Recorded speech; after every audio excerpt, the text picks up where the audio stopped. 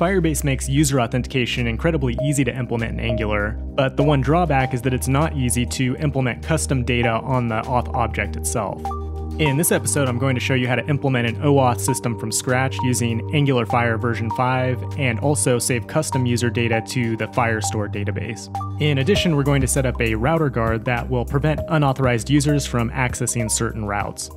I recommend that you follow along with the source code on angularfirebase.com and make sure to subscribe to the channel for a bunch of updates regarding Firestore in the near future. To get started, the first thing you'll need is a Firebase account and make sure you have the Google login provider enabled.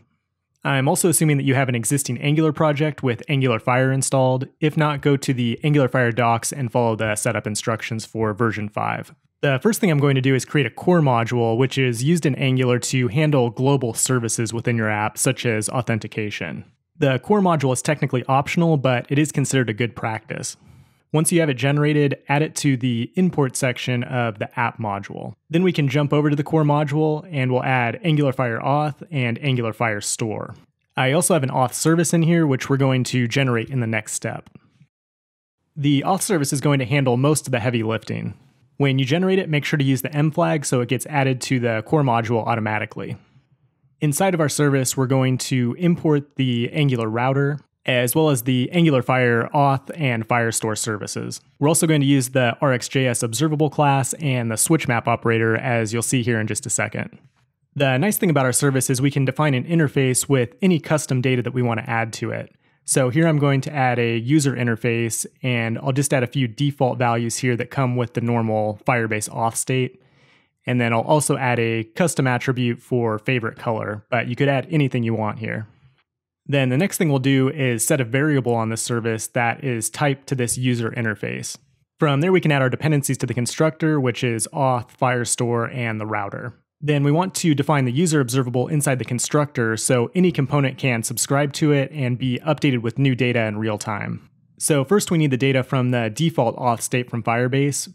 So we can get that by calling switchmap. That will give us the user credential, which can be either the user data or null. So if it is defined, then we'll go ahead and return the data that we save in the Firestore database. So we can do that by pointing Angular Firestore to the user document that is in the user's collection and has an ID equal to their user ID. And then we call value changes on it to get the observable.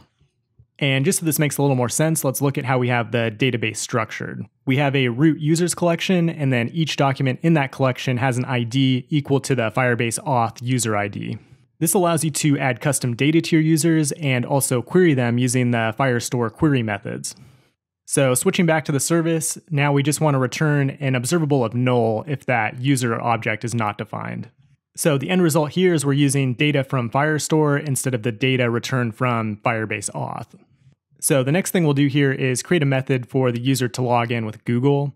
And I'm going to set this up in a way so you can easily reuse the code if you want to use multiple methods such as Twitter, GitHub, or Facebook. We can do that by passing the provider to this OAuth login method, and that will call the sign in with popup and return a promise. But we also need to save the user's initial data in the database, so we'll set up a separate method for that as well. And we only want to call that once the user has successfully authenticated through Firebase. So once the user has authenticated, we're going to have a user ID we can use that user ID to make a reference to the Firestore users collection and then a document under that user ID. From there, I'm just going to transfer some data from the normal Firebase auth to Firestore, but this is where you have the option to set custom data if you want to. You could even delay this process and have the user fill out a secondary form where they enter required additional fields to their user account.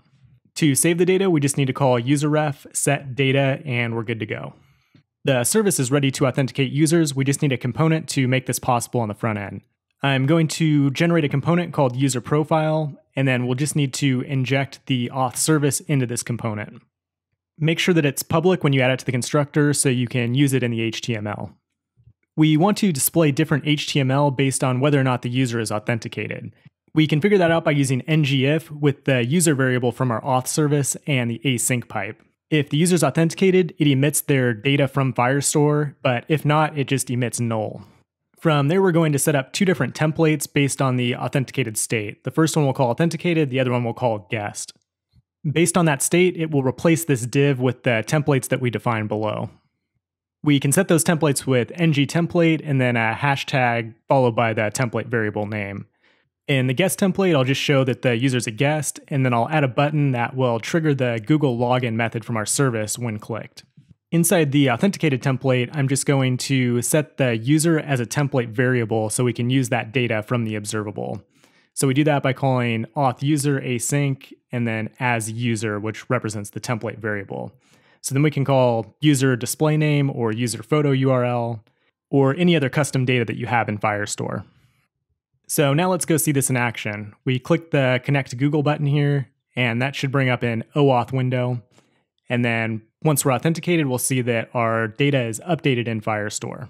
Currently, I don't have the favorite color property set, but we'll go ahead and set that in Firestore and you'll see it has a real-time connection with the user interface. As soon as we click add, you'll see that the favorite color gets updated here on the left side on the user interface. If we click log out, you can see the user session ends, but we still have the data here persisted in Firestore. So that's very useful if you query public user profiles that get shown throughout your app. So that's pretty cool, but there's just one more piece of information I want to show you to round out your auth service. And that's how to create a router guard to protect routes from unauthorized users. So first we'll generate the guard with the Angular CLI. Inside the guard, we're going to import an RxJS observable class and the auth service that we just created, and also a few other RxJS operators. From there, we'll add the auth service to the constructor of the guard, and we can just call the user observable that we had created in the auth service. We can call take one to prevent any long running subscriptions, and then we'll map the user object down to a Boolean. So if the user's logged in, that should return true, and if not, it'll return false. If it returns true, then the guard will pass and they'll be able to access the route. But if false, it will console log access denied, and then we'll have the router navigate them back to the login page. So you can add this guard to the can activate array in any of your routes. And then if you try to access one of those routes not being logged in, you'll get this access denied message here in the console. But if we go ahead and log in, then you can see we have full access to the routes and everything works as expected. That's it for Firebase OAuth with Firestore. If this video helped you, please like and subscribe. And if you want to build more advanced features, consider becoming a pro member at angularfirebase.com. You'll get a free copy of my book, as well as one on one project consulting. Thanks for watching, and I'll see you next time.